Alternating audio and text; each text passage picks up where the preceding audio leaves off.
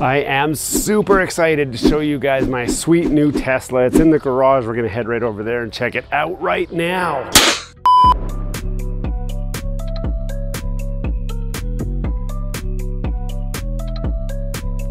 Wait a minute.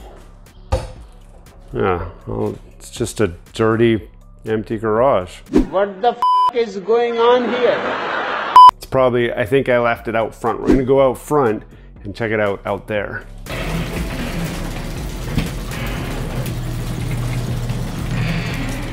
Okay, that's my daughter's Nissan.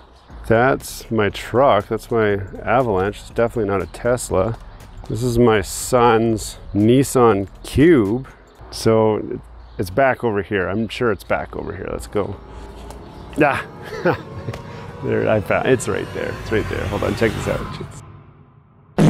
Ah, there it is. Isn't that a beauty? Look at that. Would you look at that? Look at this. Now, this is a Tesla Model S small drive unit. So it's the uh, 300 horsepower motor with the AC inverter and pretty much everything that I need to make my own Tesla. So now we got to find something to put that thing into. So let's have a look at what we got here. So we've got the Altima. That's still, it's got 400,000 kilometers. That's still running pretty good. I'm not, not going to convert that to a Tesla. We've got the Avalanche. That thing's still running really good. I, I like my Avalanche. It's got the Chevy 5.3. Don't need a Tesla in there. We got the Cube. Don't think we need the Cube. Let's go in the back and see. Maybe there's something in the back that we can find to put that Tesla motor into. So there, there you go again. That's the Tesla motor. This is my dirty garage. This is the shop that all the magic happens in. Let's see, we'll shut that door. Let's see, we'll go in the backyard. Let's see what we got back here. Let's go for a quick stroll to the back. All right, let's see what we got here. We've got the ice drift car. It's been parked for the winter. You guys have seen this before. Now this has the Subaru 2 liter, 2.5 liter. I'm not actually totally sure what's in this thing, but this thing's been a stellar drift car. And actually I told my son he could have this. So we're not gonna put, do any modifications to that. But what have we got here? Ho, ho, ho.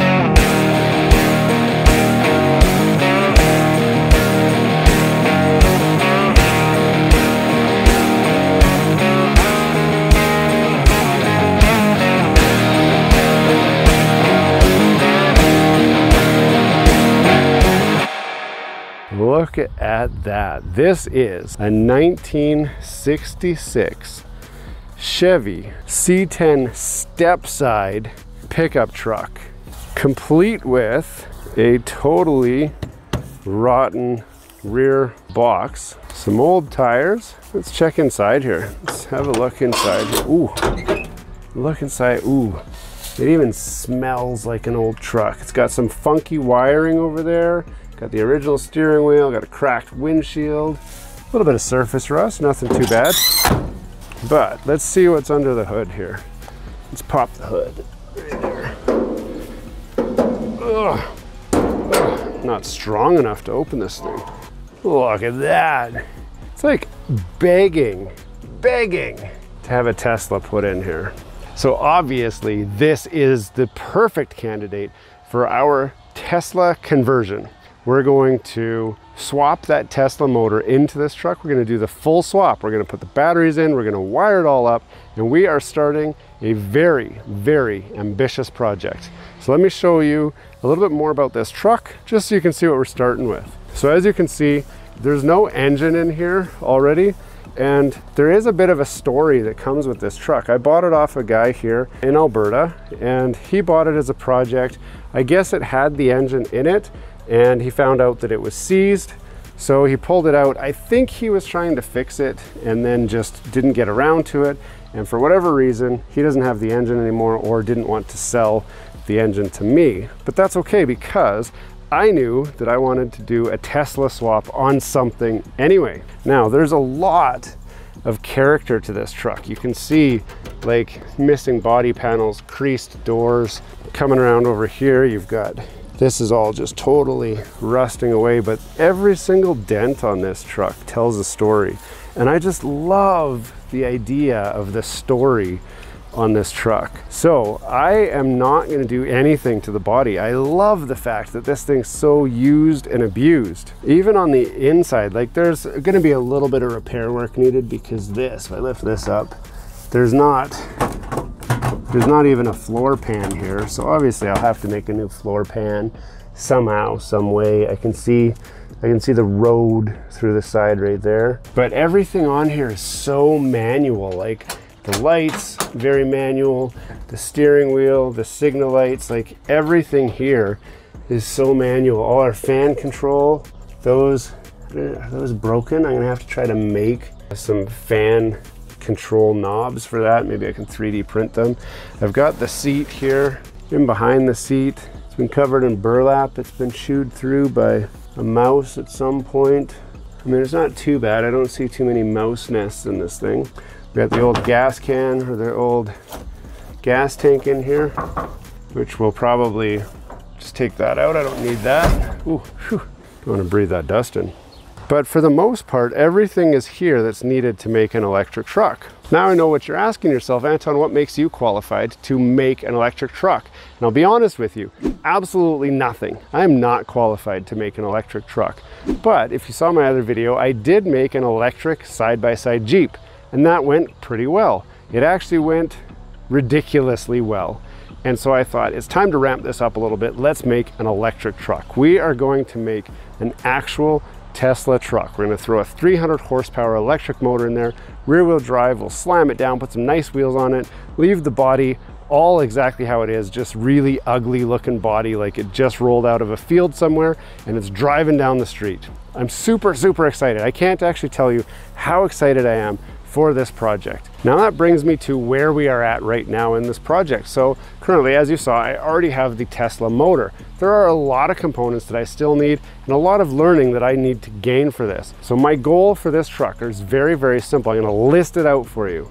This is a budget truck. I wanna make the electric car that you guys might be trying to make at home when you don't have access to a lot of money or a lot of resources. See, you can look on YouTube and you'll find people who seem to have unlimited amounts of money building their own electric vehicles but that's just not reality for so many of us. So I bought that motor quite inexpensive. We will talk more about the motor in future videos because I need to test it and do a lot of stuff with that. But I'm trying to build this thing as cheap as possible. So I'm gonna use the bare minimum of everything that's needed. There's some key core items that are needed to make an electric vehicle, but a lot of people are really kind of making it more fancy than it needs to be. Obviously, if money's no object, you can go to AEM. They'll sell you everything you need to do a Tesla swap on pretty much anything, get all the electrical working and make it work. So that's not us, that's not this project. We're going to make this work on a budget using wrecked car parts and just putting it together and seeing what happens. You're gonna wanna join us for this journey. I'm super excited. There's plenty of videos coming up. But pre-warning, I'm at the stage right now where I'm just collecting stuff to actually be able to start the build. The real build is not gonna start until the fall here in Canada, which is gonna be sometime in October. I will be doing live streams as I work on the truck in the shop, but I'll also be doing some prep work and I'll be bringing you guys along for the journey. When this video series is done, you will know everything that we used on this truck and you could follow along and build your own electric conversion at home. Shameless plug. If you are in the industry and you know how to do stuff like this and you want to reach out and offer some support, maybe you have an interest in helping sponsor this truck, keeping in mind that we are shooting for a budget. So I would need to know what the items would normally cost and I'm only gonna use the things that I have to use to make this build work. But some of the big ticket items like the batteries, I gotta figure the batteries out, they are not cheap. So if you're sitting on a pile of Tesla batteries and you're wondering what to do with them, send them my way. I'll shout you out in my video and you'll get some credit that way and we'll see if we can work something out. But lots of really exciting stuff coming on Gears and Tech. We're not just technology. We got the gears in here too. You're gonna be excited, I promise you. Hey, thanks for watching all the way to the end of this video. We hope you enjoy the content in this video and we'd love to have you come back. Consider subscribing to the channel if you haven't already. And for those subscribers who are looking for that extra special thing that you can do to support this channel, consider joining our members group. That's where we're building this community, the Gears and Tech community, where we can all enjoy content together you'll get special perks, which we'd love for you to check out by clicking the link down below. For those of you who are just happy to watch the video, that's okay too. You can check out some of our other content right over here, where we've got some previous videos that have already been uploaded and enjoyed by many of our viewers already. We do hope to see you again. This has been Gears and Tech. Have a great day.